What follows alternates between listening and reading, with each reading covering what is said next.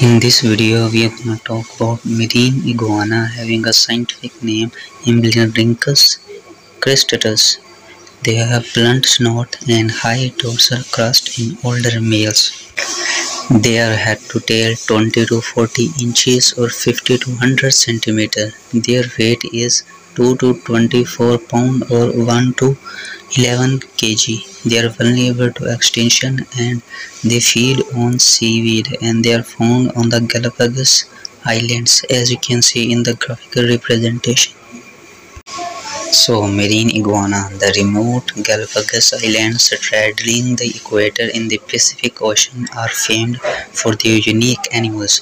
The island's marine iguanas are especially interesting being the only marine lizard that feeds exclusively on seaweed agile in water.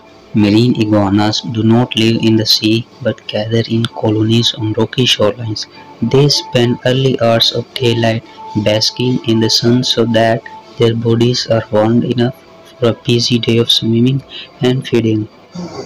When ready, lizards plunge into the deep water, diving to the depth of 33 feet or 100 meters to graze on the short seaweeds that grow on the sunlit rocks of the seabed. An iguana can stay under for an hour if it has to, but most feeding dives last a few minutes before the animal surfaces to breathe. With its plump body and short legs, the marine iguana is ungainly on land but very agile in the water. It has partially webbed feet but swims mainly with the help of its flattened oar-shaped tail while the crest of spines along its back provides stability. Warm on land, a marine iguana cannot remain in the sea for long. The chilly water begins to make it lethargic and so it must get out of water regularly to warm up in the sunshine. After eating it climbs back up the slippery rocks, gripping on with long hooked claws. Its dark leathery skin helps it to absorb heat more quickly. As it dries out, the body color becomes paler gray with blotches of orange, green and other colors appearing. These are the most pronounced in adult males which develop a vibrant coloring to attract mates. The color are derived from the pigments in the seaweed they eat and therefore vary from island to island. The faces of male and female marine iguanas are also streaked with white. This is the excess salt consumed in their food which is excreted through the glands in the nose. Along with the boosting body temperature, the time spent on land is an opportunity for the iguana to digest the tough seaweed. This is done with the aid of gut bacteria inside a bulbous fermentation chamber, hence the iguana's large and rotund figure. Big not always best. Males can grow to the twice the size of a females and they will guard a harem of mares from rivals during the breeding season.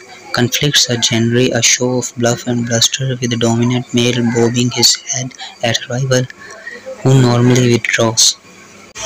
If he bobs back, however, the rivals will fight each trying to shove the other away with his head.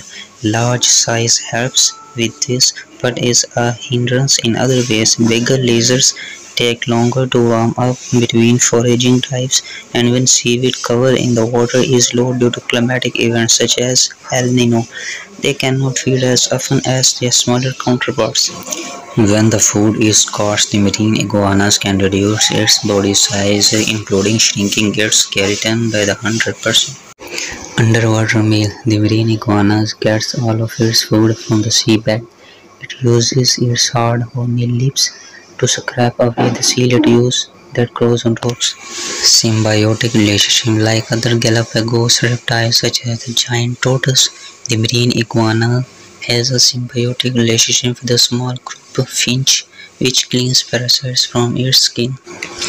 A marine iguana colony. Iguanas bask in the sunshine in colonies, their dark bodies helping them to both absorb the sun's warmth and blends in among the volcanic rocks and sand. So if you like the video please subscribe the channel and stay connected to my channel for further videos.